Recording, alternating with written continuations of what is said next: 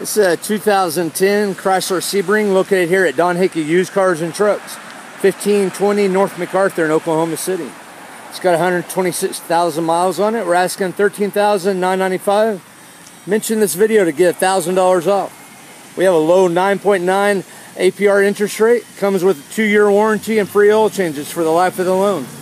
You can call us at 947 1833 and you can test drive it.